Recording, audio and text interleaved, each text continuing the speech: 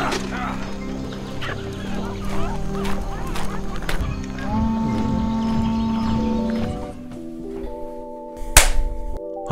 and welcome to this video. My name is Florian Salvesberger from the design studio Salve Vision, and my work focuses on 3D animation, concept art, and full CGI productions. Over the years, I've had the opportunity to work on a variety of projects, including some of the Pwnisher 3D community challenges. Whether it's capturing intricate movements using motion capture, creating high quality 3D environments, or world building from scratch, my focus is always on the joy of creating and using new software and tools to optimize my creative workflow. In this video I'm excited to dive into one of the most interesting tools I'm currently using for my animation workflow, which is Reallusion's Motion Director and Prop Interaction in iClone. I am more than happy to showcase what you can achieve in a short period of time using Relution characters, Motion Director and MD Prop Interaction in iClone to get the results that you are looking for. Whether you're an aspiring animator or a pro artist, optimizing your character's interaction movement with 3D props can really elevate your projects. In addition to that, you can easily customize the motion and characters to really bring your idea to life. So, let's jump right in! If you're not familiar with iClone, it's a powerful, real-time 3D animation software. It's been a go-to solution for animators working in film, gaming and even virtual production. The Motion Director, which is a key part of the iClone suite, brings a whole new level of ease and versatility to the table, especially when it comes to directing your characters. So for this showcase project I wanted to create a medieval siege camp with a lot of campfires, soldiers sitting around them and generally a lot of characters just walking around the camp, inspecting siege equipment and interacting with props. I also want to add some special animations using the Reallusion's motion library, for example two knights in a training fight and a few archers in the background. Alright, so let's start with animating our characters in iClone. Here you can see I'm using a Reallusion character asset. By using my asset library, I can simply drag and drop the character into the scene. Now, we can search for an animation that we like and also drag it onto our character. It's important that you really drop it on the character, indicated by the yellow cube around our mesh. Now, our chosen animation is linked to our character. If we press play or scroll on the timeline, we can see that the animation is working as intended. If we want to adjust an animation, we can simply edit it on the motion layer, which is located right here. Let's just open it up and now we can see the IK joints from our character. So now we can simply select a bone or a joint that we want to change the location or rotation of, select the timestamp that we want the motion to change, and position our character the way we want to. As you can see, it's easy to adapt our character's animation to whatever pose or motion you need, just simply place keyframes on the timeline for how you want the rig to move. This is a simple, but yet very effective and optimized way to let our characters move the way we want him to. Now let's talk about the really interesting part, Motion Designer and MD Prop interaction. Motion Director is essentially a tool that allows you to control your characters and animations in a way that feels natural, just like playing a video game. It lets you pilot your 3D characters using game controllers or your keyboard or even a mouse. Notice how the character responds to the controller's inputs. The movements are fluid and natural, with the software automatically adjusting for things like foot placement and body motion. With Motion Director, animating a character is as simple as pressing buttons on your gamepad. This intuitive control system not only saves time, but also adds an incredible level of detail and accuracy. Let's take a closer look at how this works in practice. Now, let's say we want our character to interact with props. We can do that easily by using the MD prop interaction. Let's search for the MD prop asset in our library and drag one into our scene. In this case I want my knight character to walk towards a chair and sit down.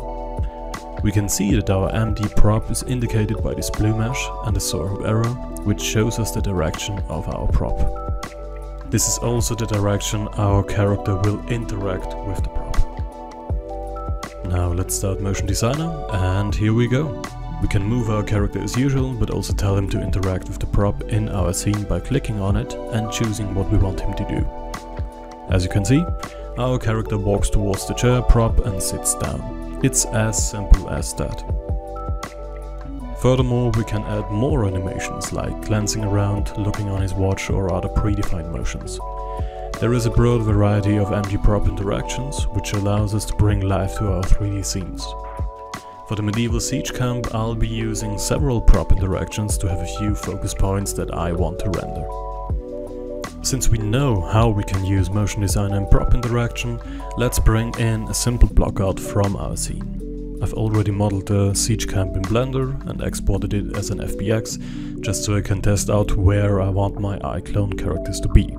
After importing my 3D set, I've placed a few MD props, sitting around the campfire, looking at the armory in the tents, inspecting the trebuchet in the background, collecting some wood, and pushing a cart with siege equipment. To do that, I've just simply dragged the MD props into my scene and positioned them where I wanted them to be including attaching the MD chair props to separate FBX files of the chair I'm using for this scene. Furthermore, I want even more characters to roam around the siege camp. You can easily do that by using the Motion Director crowd simulation tool. You can have your characters navigate a scene, avoiding obstacles and reacting to the environment in real time using the crowd scatter tool. No need to manually keyframe every step, which is a huge time saver. If you're working on a scene that requires multiple characters interacting or moving in crowded space, Motion Director has you covered. It automatically handles the collision avoidance and realistic motion behaviors for each character, making it easy to create bustling crowd scenes without any hassle. Before we start simulating our characters, let's set the stage. First, you'll need an environment. iClone offers a variety of 3D sets and props, but you can also import your own. Since I want my crowd simulation in the same scene as before, I'm using my Medieval Siege Camp FBX, so let's use the ground plane to set up our nav mesh. The nav mesh acts as our base where we want the crowd simulation to take place. As you can see, we can easily adjust the area where the characters will move around. Since I don't want them to walk on top of the tents, I'm changing the nav mesh angle so that just our ground plane is selected. Once I'm happy with it, it's time to scatter our characters. From the content browser you can simply drag and drop your desired characters into the scene. You can easily adjust the position, rotation and scale, but here's the cool part, you don't have to manually place every character. With iClone's Crowd Scatter tool, you can automatically populate the environment with numerous characters and even randomize their appearance, change the animation interaction frequency, or decide which animation data your characters will use. Since I'm using only one character, I don't need to randomize their appearance, because I'll do that later directly in Blender by adding individual armor parts and weapons. You can even set up different animation triggers to control the crowd's actions and behaviors based on what's happening in the scene.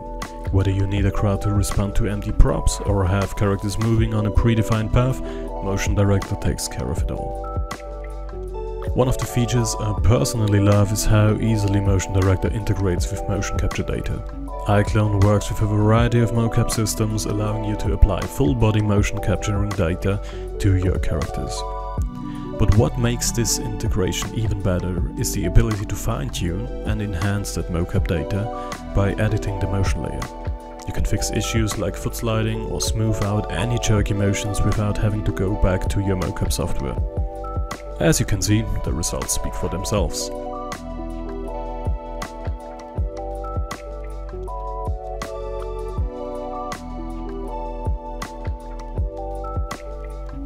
Once I'm happy with the character placement and prop interactions, let's record the motion from our characters by selecting the meshes we want to record the motion of and simply start Motion Director. After that, it's time to select my characters and export them as an FBX file. It's important that you select your software of choice, the range of frames you want to export and the size of your textures. Depending on your scene, for example if you need really high detailed close-ups or just wide shots of the whole crowd, you can adjust the export settings to your specific needs. So whether you're working on a game, film or virtual production, Reallusion's Motion Director for iClone is a powerful tool that streamlines your animation workflow while giving you more control over your characters. It's intuitive, flexible and packed with features that help bring your vision to life quickly and efficiently. Alright, so I've imported my character FBX files into Blender, added a few more details, changed a few textures, and yeah, there we go. Let's take a look at the final animation.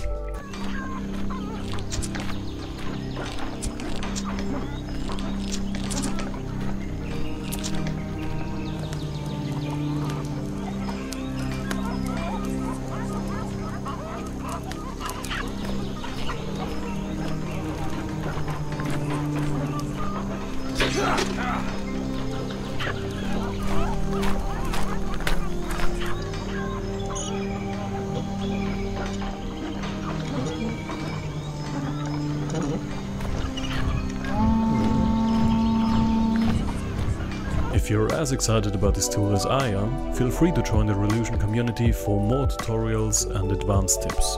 So thanks again for watching this showcase video about MD Prop interactions and motion designer in iClone and until the next time, stay creative.